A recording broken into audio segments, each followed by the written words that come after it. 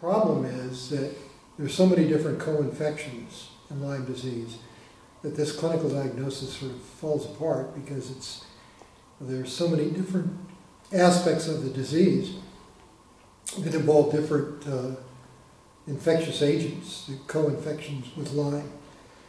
that makes it a very complicated process and also makes it very difficult to treat because these different co-infections are really quite different, quite unique. There's some overlapping sensitivities in terms of therapies, but by and large, depending upon the types of co-infections, the, the, treatments can be uh, different.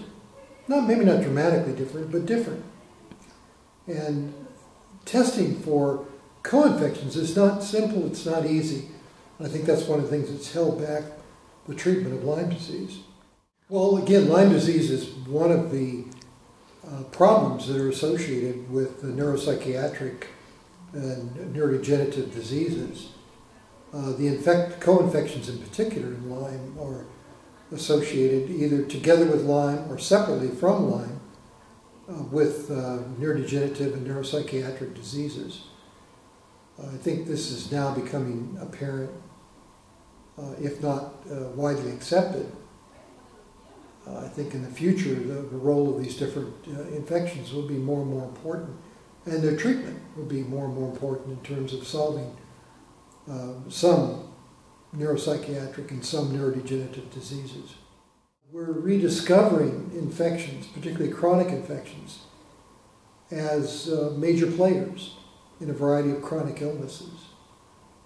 Now, one of the problems that we've had with chronic illnesses is that in the past they've been dismissed uh, in many cases uh, as uh, psychiatric problems um, of a non-biological nature. In other words, uh, people were written off as crazy if they had some of these neurological signs and symptoms that we now know are related to various chronic infections, Lyme being one of the most difficult ones because it involves so many different co-infections. But as the world has become more complex, and uh, the complex meaning uh, environmental uh, problems associated with, with the world become more complex, these problems become more complex and more difficult to solve, and so it takes more time and more effort.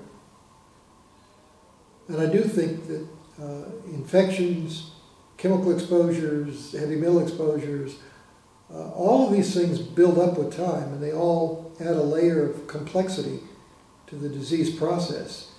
And so we have to unwind this complex process to understand some of these chronic illnesses. And I think that's why there's been such an increase or explosion in some of these chronic illnesses. The, the bacteria have been around a long time. They've been around for millions of years. And why now uh, do we see this? Is it because we're able to diagnose it better? Well, that may be part of it, but I don't think that's everything. Well, if you take, if you look at some of the most devastating neurologic diseases, uh, it seems to be the patients are getting younger and younger.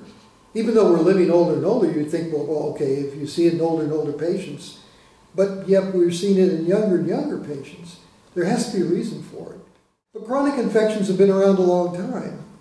Uh, these, uh, these bugs that we were talking about today have been around for millions of years. Why are they a problem now uh, so much uh, that they weren't 100 years ago, maybe?